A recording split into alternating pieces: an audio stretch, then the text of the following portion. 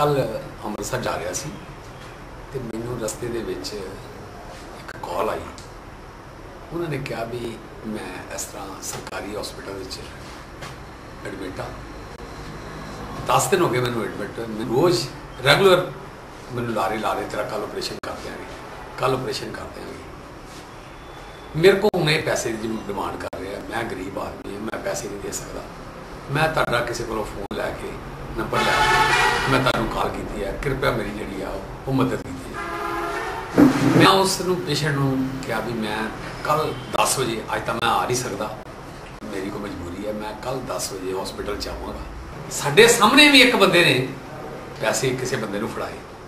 ਉਹ ਬਾਅਦ ਦੇ ਵਿੱਚ ਕਿਸੇ ਜਗ੍ਹਾ ਤੇ ਲੁਕਿਆ ਜਦ ਸਾਡੇ ਬੰਦਿਆਂ ਨੇ ਉਸ ਨੂੰ ਫੜਿਆ ਤੇ ਉਹ ਕਹਿਣ ਲੱਗਾ ਵੀ ਮੈਂ, ਪਹਿਲਾਂ ਤਾਂ ਕਹਿੰਦਾ ਮੈਂ ਇੰਪਲਾਈ ਹਾਂ। ਫਿਰ ਕਹਿਣ ਲੱਗਾ ਮੈਂ ਇੱਥੇ ਆਪਣੇ ਅੰਕਲ ਨੂੰ ਖਾਣ ਦੇਣ ਆਇਆ ਹਾਂ ਜਦ ਅਸੀਂ ਉਹਨੂੰ ਇਹ ਗੱਲ ਕਹੀ ਵੀ ਇਹ ਕਿਹੜਾ ਖਾਣੇ ਦਾ ਟਾਈਮ ਹੈ?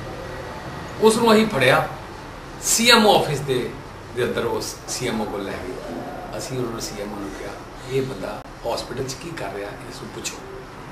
ਉਹਨੇ ਕਿਹਾ, ਮੈਂ ਆਪਣੇ ਅੰਕਲ ਨੂੰ ਰੋਟੀ ਦੇਣਾ ਹੈ ਮੈਂ ਸੀਐਮ ਨੂੰ ਇਹ ਗੱਲ ਕਹੀ ਵੀ ਇਹ ਕਿਹੜਾ ਰੋਟੀ 11 ਵਜੇ ਕਿਹੜਾ ਰੋਟੀ ਦਾ ਟਾਈਮ ਹੈ?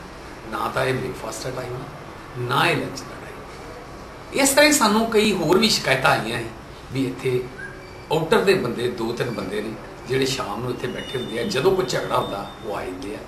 ਆ ਕੇ ਕਹਿੰਦੇ ਆ, ਕਿਹੜੀ 26 ਬਣਾਣੀ ਹੈ 24 ਬਣਾਣੀ ਹੈ 25 ਬਣਾਣੀ ਹੈ 7 ਬਣਾਣੀ ਹੈ ਸਾਨੂੰ ਦੱਸੋ। ਅਸੀਂ ਤੁਹਾਡੀ ਇੰਨਾ ਰੇਟ ਐਸਸੀ ਦਾ, ਇੰਨਾ ਰੇਟ ਐਸਸੀ ਦਾ।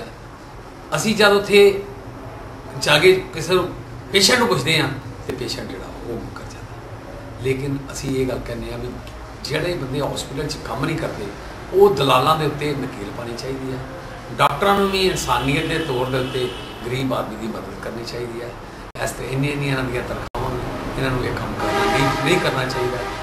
ਅਸੀਂ ਅੱਜ ਭਾਰਤੀ ਜਨਤਾ ਪਾਰਟੀ ਲੋਕਾਂ ਨੂੰ ਵਿਸ਼ਵਾਸ ਦਵਾਉਂਦੇ ਹਾਂ ਵੀ ਕੋਈ ਵੀ ਬੰਦਾ, ਜਿਹੜਾ ਆਦਮੀ ਤੁਹਾਡੇ ਕੋਲ, ਜਿਹੜਾ ਡਾਕਟਰ ਤੁਹਾਡੇ ਕੋਲ ਪੈਸੇ ਮੰਗਦਾ, ਉਹ ਸਾਨੂੰ ਆ ਕੇ ਦੱਸੇ।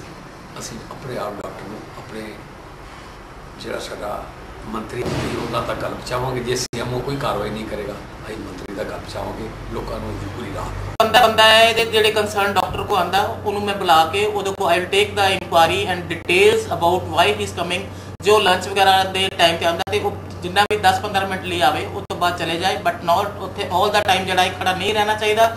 ਜੇ ਕੋਈ ਇਹੋ ਜਿਹਾ ਦਾ ਐਕਸ਼ਨ ਫੜਿਆ ਗਿਆ, ਪਹਿਲੀ ਗੱਲ ਮੈਂ ਡਾਕਟਰ ਨੂੰ ਰੋਕ ਦਾਂਗੀ ਕਿ ਇਹ ਨਹੀਂ ਖਾਣਾ ਚਾਹੀਦਾ।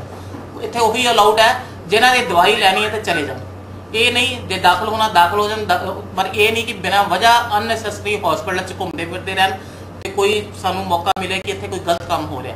ਉਹ ਮੈਂ ਡਾਕਟਰ ਦੇ ਦੇ ਦੇਣੀ ਇੰਸਟਰਕਸ਼ਨਸ ਕਿ ਕੋਈ ਵੀ ਇਦਾਂ ਦਾ ਗਲਤ ਕੰਮ ਔਰ ਗਲਤ ਬੰਦਾ ਨਹੀਂ ਹੋਣਾ ਚਾਹੀਦਾ ਔਰ ਦਾ